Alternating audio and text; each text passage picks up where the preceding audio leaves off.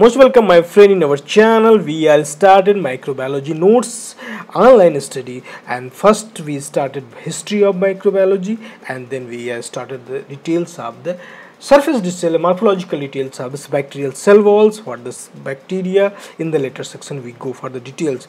First we need to understand what is the bacterial cell wall and the part of cells what the responsible their works. In last video we just studied the flagella. Similar type of the name is the fimbriae what the fimbriae how how they are differ from the flagella what are the structures and they are like look like the just like the flagellins flagella but they are sim not involved in any type of mobility motility that means the motion of these things they are shorter than flagella but they are presented all around the cells. So they can be differ from the flagella either they are shorter and more in numbers as compared to the flagella. Flagella is also responsible for the motion but they are not responsible for motion they are only responsible for cells attachment yeah, adherence with the surface surface.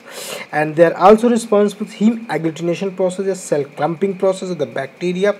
So you can imagine you can make the differ from the flagella fimbriae are the two other things and both are differ from their functions their uh, numbers their structures also.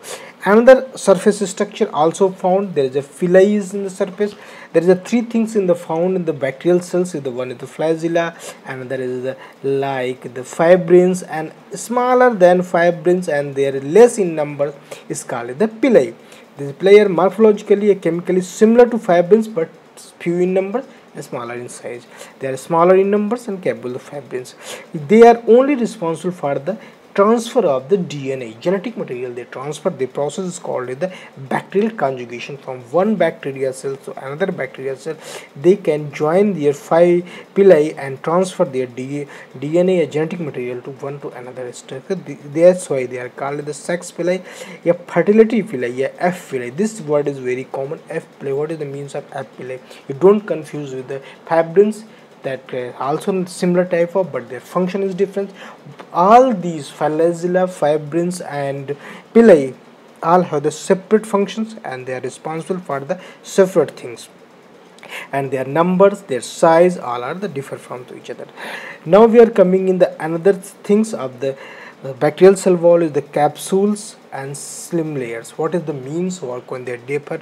Because most of the bacteria have the capsules and some few bacteria have the slim layers.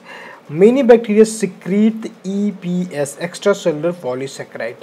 Some bacteria, most of the bacteria secreting this is associated with the exterior of bacterial cell wall. They can form there is covering of the bacterial cell walls. These are EPS extracellular polysaccharide contain 2% carbohydrate 98% waters. So they are produced glamish exterior of the cell wall. There is some circular there is some mucus type of structure is present.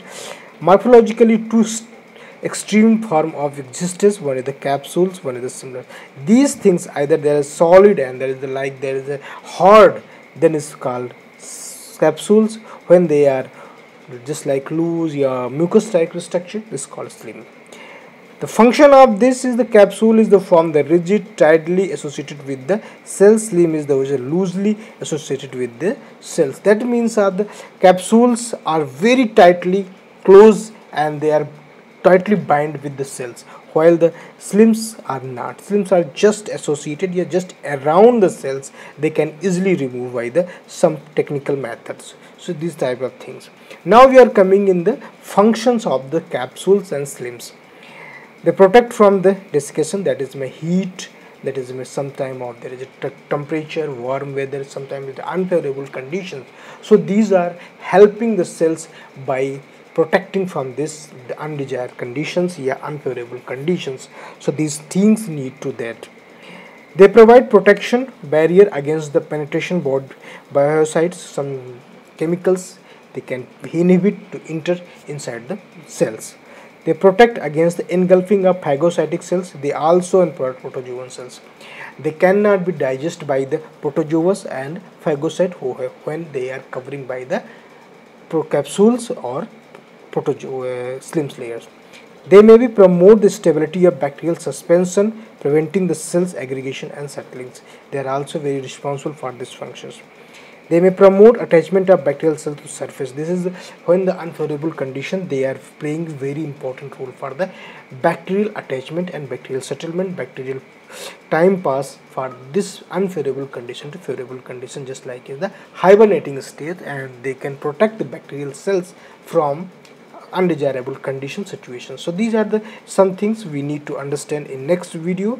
Some detail about the cell structure. Thank you so much for watching and giving your times in this video. Please subscribe my channel.